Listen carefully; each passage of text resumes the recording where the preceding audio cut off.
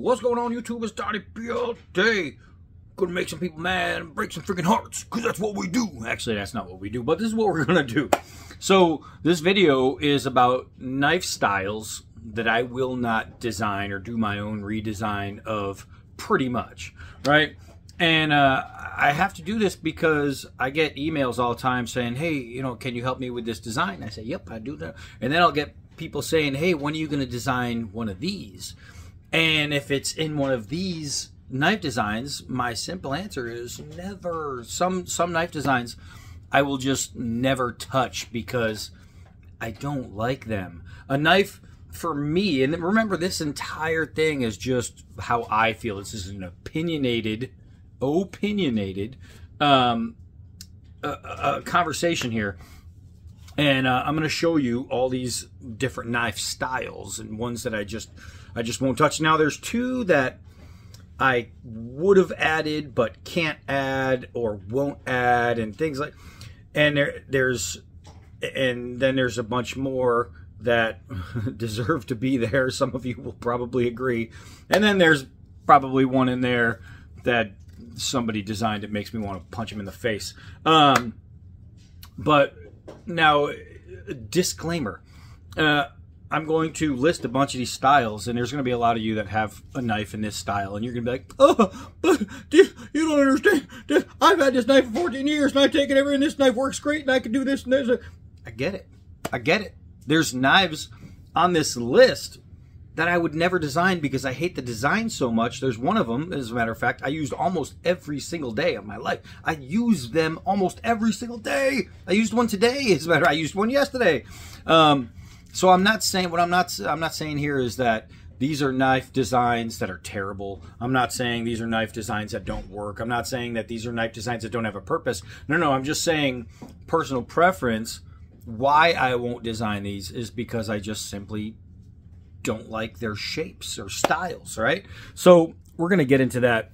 I'm going to flip you around and we're going to show you what's going on. Hold on. All right, so I'm going to start with two knife styles um, that I would put but can't put. And one is the harpoon tip. And the reason I would put it is because I'm not a fan of the harpoon tip. The reason I have to leave it though, leave it out of this video as far as ones that I would never do is because there's some harpoon tips that I just really freaking like. There are. There's just some out there like this one is made by Tops. It's a really good looking knife. There's not too much I can complain about this. Um, I think it all depends on where the harpoon starts, uh, the direction of the spine, the curvature from the spine to the grip. It, it has to do a lot with it, but some harpoon tips don't look good on some overall knife designs this one happens to look pretty darn good. The other one is the sax. And a lot of people would be brokenhearted over that. Oh, the sax, you kidding me? Vikings, blah, blah, blah. Remember, this isn't a battle of these knives don't work. This is just me saying designs that I don't care for. The reason I'm not a big sax fan is because they're completely linear. If you take a piece of steel and make three very, very straight cuts in it, you did not design anything. You just cut something that was very simple that you could use right away to kill somebody with. And that's exactly what the Vikings did. Nobody designed this. The Vikings took a very, very simplistic thing because they needed it to work. They didn't need it to look good. So when I see knives that are just complete straight angles, it makes me want to blah. I just don't like it. So I've been working on for uh, just about three years. I've been working on a sax design because I would really like to do a sax. The problem is every time I design it, it pisses me off because it still looks too linear to me. I have to figure out a way where I can do it and not make it just a bunch of straight lines. It has to have actual shape. It has to have design in the design. I can throw on a really fancy handle, but if the blade is still just three straight cuts, it's three straight cuts with, you know, a fancy handle. So while those two designs I, I, I don't want to say I was on the fence about because I'm not on the fence. I, am I'm, I'm more pro those designs than anti those designs um, because I I would absolutely design both. I pretty much have. I already have some designs put down where I'm just tinkering with. But then now let's get into some designs I will not do. This, my friends, is an ulu. An ulu is a great like uh, meat cutting knife, right? It's great. A lot of times you won't see it with this single handle. A lot of times you will see this come all the way across the handle and then there'll be two little pegs holding on this blade. I have no desire or yearning to design any kind of ulu. And uh, this is the exact um, knife design that sparked this videos because somebody said, hey, are you going to design an ulu? Uh, here's my quick answer. No. I have um, literally no desire to do an ulu. Moving on, there's this thing. Um, so Ka-Bar did this. I I know people, you know, can say, "Oh no, it's really good." You put it in your hand, and so you can punch with it, and blah blah blah. I cannot stand anything that's L-shaped in a knife. If it's an L shape, it's it's just not a knife. Now this isn't like kukri shape where it's really beautiful and has these great lines. This just goes up and then over. It's freaking awful to me. Does that mean it doesn't work? Of course not. Um, it probably has a couple good uses. Um, I, I, mean, first of all, with like most pistol grip knives, I am not a pistol grip knife fan. I'm a pistol grip fan on pistols because that's what it's made for. On a knife, uh, leave the pistol grip at home. So this thing I added, um, but it I don't know if it has an actual like name. I don't know if there's something you can call it. It says blade style the way they have it listed. Blade style other uh, this is something I came across, and I've seen a few of these. It's kind of like this weird elephant trunk looking knife. Um, no. But now here's something. Here's something that we hope you'll really like. Um, so this is a fillet knife, right? Just your basic fillet knife, fishing knife. I have one of these in my kitchen drawer right now that I use literally almost every single day. I use my fillet knife constantly. I use it for uh, like I was just cutting up ham with it. I use it for cheese, for longer blocks of cheese. I use this knife all the freaking time. Will I ever design a fillet knife? And it's not this one. Um, will I ever design a uh, fillet knife? No. I do not like these long, skinny blades. I am not a fan of really thin, narrow blades. When you guys see me do something, they're generally fat blades. Here's another one of those weird blade styles that is just a no for me. Um, this is another knife thing that somebody throws the word tactical on and it's supposed to mean something like, oh, that's a tech. Let me tell you something. This is not a very useful knife for someone like me. I would be able to do nothing with it. Now, that's broad statement. Can I do nothing? No. Can I feather stick with it? Sure. Can I throw it? Absolutely. Would it be more of a, a toy? Sure. But would this knife style ever do anything to me to where I would look at it and go, now that's a knife I need to make? Absolutely not. I just think those are horrible. Speaking of horrible yet popular, the mini cleavers. What is the purpose of these? Now, the only reason I would ever need a knife like this if is if I had a two by two block of very sharp cheddar cheese sitting right in front of me and a bunch of crackers. I cannot think of a single time that I would need a knife like this, especially when I can already be carrying something like you know a, a knife that can do multiple things. The, these knives just for me aren't as multi-purposeful as I'd like them to be, and it's nothing. I cannot cannot at all get into this style of knife. And speaking of, here we go with a scalpel knife. Now, I, I, mentioned one in a video before how I think it would be really useful when like you're out camping and maybe you're in straight up survival mode and you're talking small game like if you have to skin an actual mouse or something of that size then these things could come in handy um, it would sure you could rip open a cardboard box with it, no problem. But for me, when you have a really long blade, uh, long handle or a nice hand size handle, to take a blade that's half the length of the handle, I don't know, man. I and again, it, it this thing probably has a million uses, but it's just a style that does absolutely nothing for me. Can't do the scalpel. So here we have like a classic boning knife style. And, and, and what this comes down to, it's not so much the kitchen knife style. You have it in like Bowie knife sizes and all kinds of different things. But any knife that sweeps in this direction that's not a Japanese tanto, I think is a fail to me.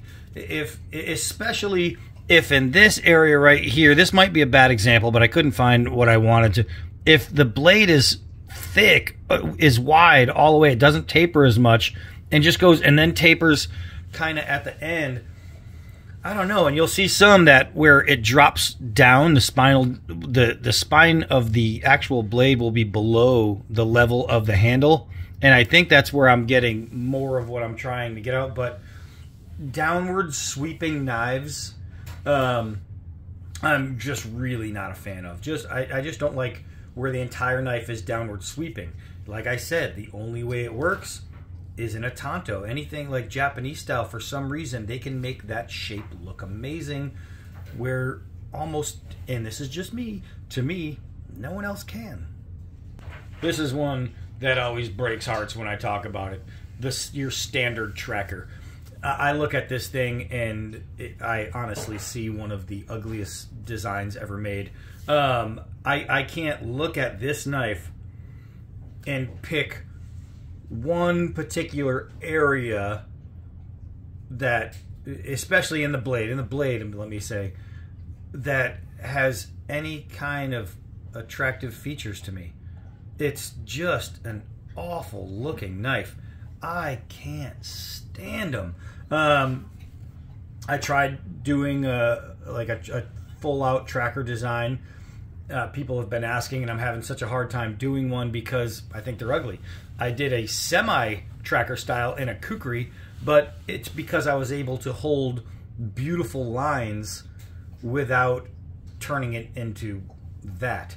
And I'll tell you, this is of all knife styles, one of my absolute least favorite. All right, all you hunters, you're not to like this one. The um, gut hook the gut hook. If somebody sends me a gut hook knife, I telling you right now, I'm bringing it down to the grinder and taking that thing off.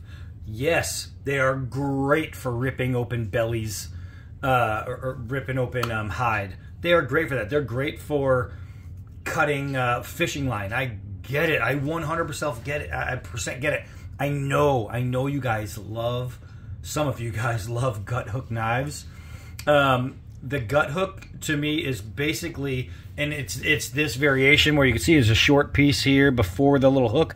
That's where those harpoon tips get me is when it's just at the tip especially. That's where i think they really ruin a knife when you just do that at the i don't i don't get it man.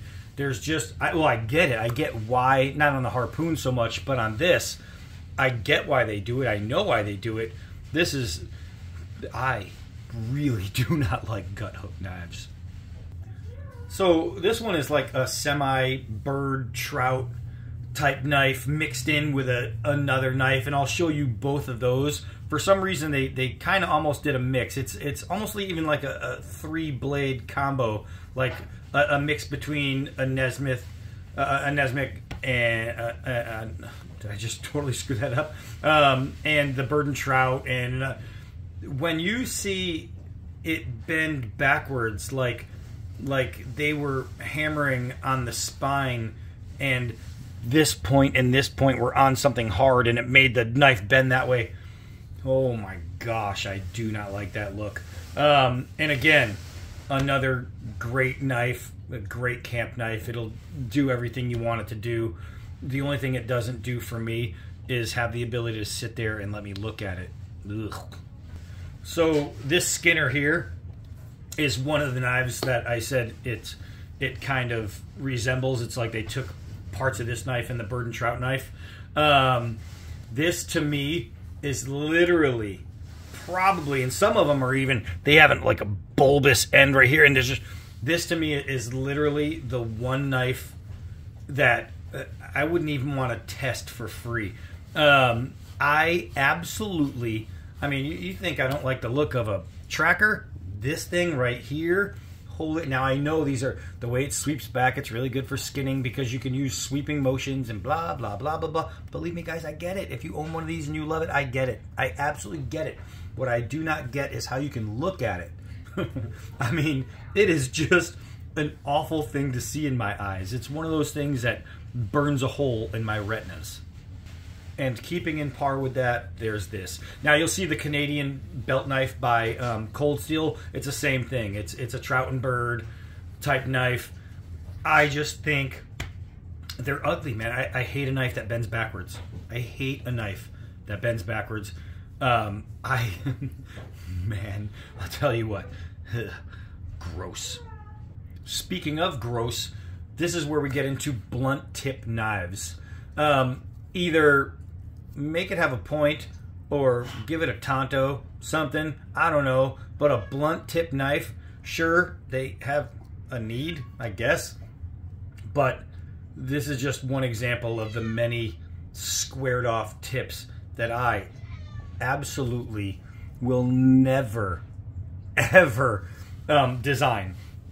So if you have one of these, and if you're a knife reviewer and you review a knife and I don't like the shape of it. It's nothing personal. I just don't like the shape. I'm putting it right out there. Um, does that mean the knife's no good? Look at Scab. Holy crap. Scab will bring out a knife made by like Work Tuff Gear that I might not like the shape of. And then he'll beat it into oblivion and the thing will just keep on going. It'll just keep on freaking going. No matter what, I could say anything I want about the overall design or the shape or blah, blah, blah. But holy crap, he puts out some freaking workhorse uh, knife videos uh, from like uh, some blades that I, I like fantasy knives. He's got a fantasy knife out there. I think he just recently did a video on. Does it have any intended purposes in real life, real use? Blah blah blah. Absolutely not. But holy crap, Scab could chop a truck in half with the damn thing. So I mean, as much as I hate some things, someone sometimes you just got to respect the way they work. All right, so this is one of those knives that might just anger people. I do not like the karambit. Now, I have some karambits. The Shasta McNasty is one of the Shasta McNastiest karambits out there. The thing is just insane. You want to know if these things work? Ask Doug Micarta.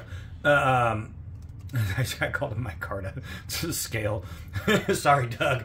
Um, but the this shape of karambit, this style, there there are some karambits out there that I look at and I go, okay, so that's a nice one. And it's not even just about hawkbills because I like hawkbills. I do like a good hawkbill knife, but for some reason, this style of karambit right here, I absolutely hate looking at it. It's just, and that's all it comes down to is the look. Because when I put one in my hand, it works just fine. I just don't want to have to look at it. All right, speaking of hawking bills, instead of a hawk bill, which is actually a good um, shape. This is called a um, a bill hook, uh, and this thing, you, I'll tell you what, man, I'd rather sell my mama than come out with one of these of my own. This thing, I'm not gonna spend too much. I mean, well, look at it for your damn selves. Ugh. All right, so this is the last one I'm going to um, go over. Um, one of these. Uh, it, it's supposed to be like an axe slash knife. Listen, either carry an axe or carry a knife. To try and make a knife that's both, and again, you have this really nice handle, appropriately sized, and then you have this blade that's shorter than the handle. The only time a blade should be shorter than the handle is when you're talking about a folding knife because it has to fit into it. That's the only time. And and just because it's tops, there's a few tops knives that I've picked on here today because they suck. Well, not they suck. I'm not saying that, but those designs to me are just awful. But then in my pocket, the only thing I asked for Christmas was this tops knife. So don't think it's a knock on tops because I love me some damn tops. Um, but there's and this one's even better than a lot of the ones I've seen. These these, it's like a hatchet slash knife. I will not design a hatchet slash knife. I will design you a knife. I will even design you a hatchet, but I will not combine the two. No, no freaking way. All right, so I hope that answered some of the questions. There's just reasons why I don't do certain knives, and it's just because the look. You know, if they were all as pretty as that, you know, I'd be I'd be doing them all. If they were all as pretty as that, should I be doing them all? But there's just I don't know. There, there's just some things, man. Linear things, things that bend backwards, things that have an even swoop. Just no, no, no, no. Oh no! Wait, I forgot. I almost for we almost ended this video without the um my winner, the winner, the winner of all kick in the teeth knives.